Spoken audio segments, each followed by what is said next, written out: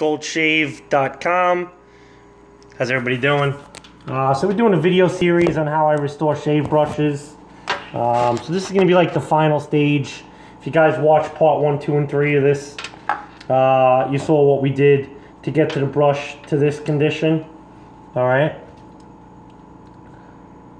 So now this brush is going to be on how I paint the letters on the brush. Okay, this is done already. And how I set the knot. So if you have deep letters like this one does, okay, you can use stuff called Rub and Buff.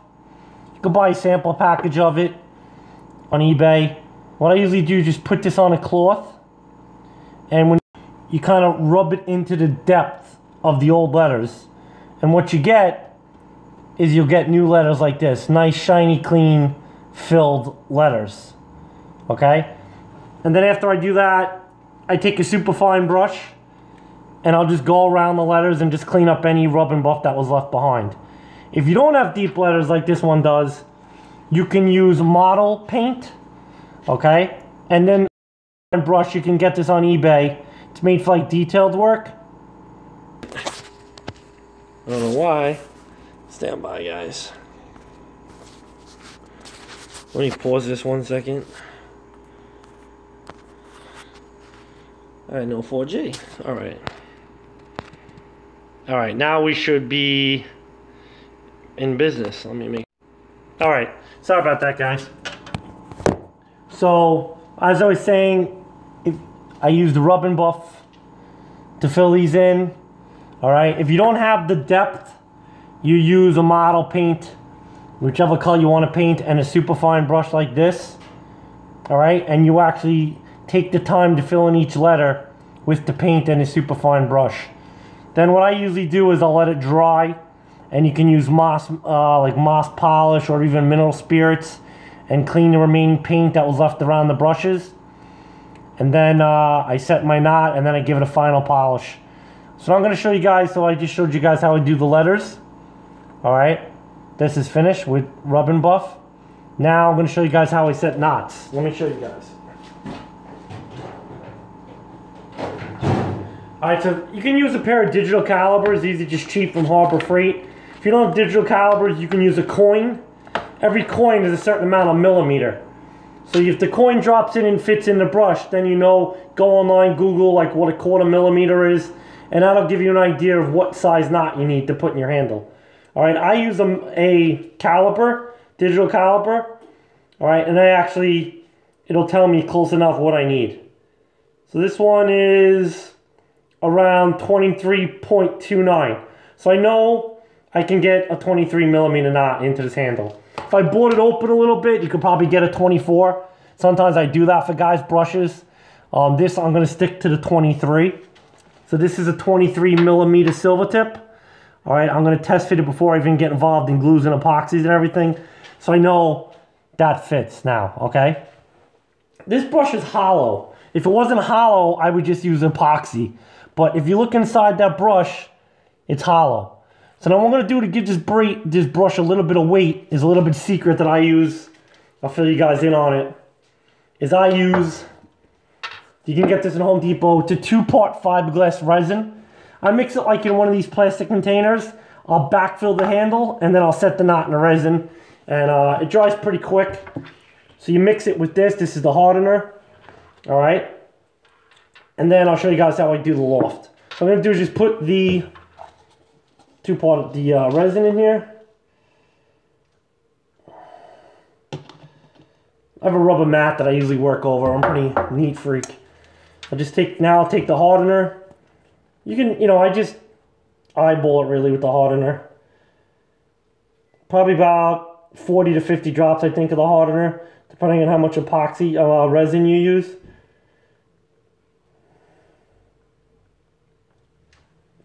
All right, that should be plenty. Now I mix it with a spoon. All right. Just really mix this thoroughly. Make sure that all the resin and the hardener mix together.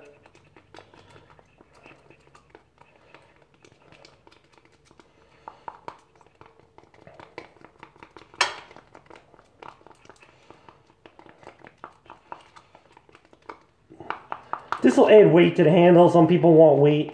Even with the knot, the handles are too loose. So I just use this container over and over.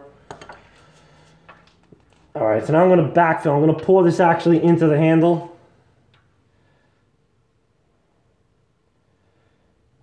And I'm probably gonna set this pretty deep.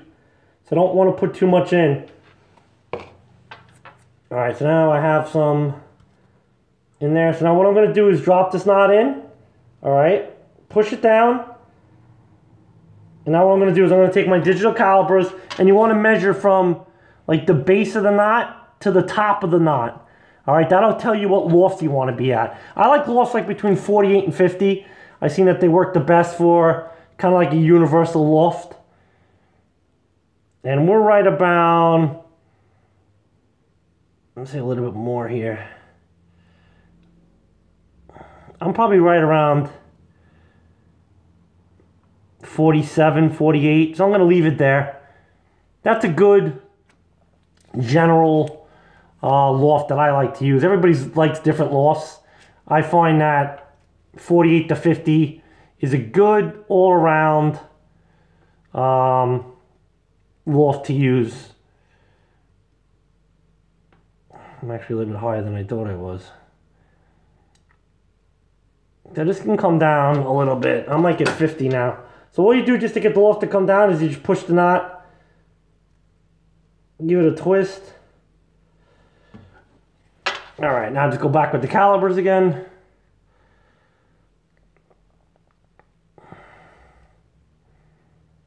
I can still go even a little bit lower. I'm not getting where I want to be, so. All right, let me see where I am.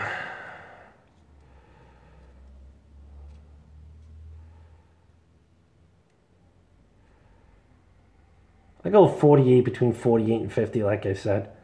I'm right like around right now in the 50 range like 50.69. So I'm, I'm going to keep it there. That's good between 48 to 50 I find like I said. Um, now that's pretty much it. Now I'll just let the knot and the uh, and the hardener kind of do its thing now. I usually keep like a keep like a paper towel around or like a microfiber towel, just in case any of the glue sneaks out, any of the resin sneaks out, you just wipe it right up. You can also clean it in the last stage with the polish. So now that's how you set a knot, guys. The final final stage after this is done, after this resin hardens, the knot, what I'm going to do then is I'll hand polish this with Maas, with a microfiber towel. I'll package it up and I'll send it out. So you guys seen the whole process, how I do things. If you're interested in having, oh, these are the superfine brushes. You can get these on eBay. All right. If you guys are interested in having a vintage brush restored, um, you can check us out. Check me out, strikegoldshave.com. Uh, we do vintage brush restores. Uh, I do gold dollar, gold dollar honing. Uh, we have our own soap line. Um, that's it, guys. So if any questions, please feel free to contact me. You can get me over at my Etsy shop or get me over at strikegoldshave.com. Leave me a message, and I'll happy to get back to you. Alright guys, thanks for checking out this video series. Uh, I think I'm maybe the first one that's done a video actually start to finish on a brush restore. But now you guys know how I do it. Thanks for watching guys. Have a good one. Check us out again, strikegoldshave.com, and we'll speak to everybody soon. Take care.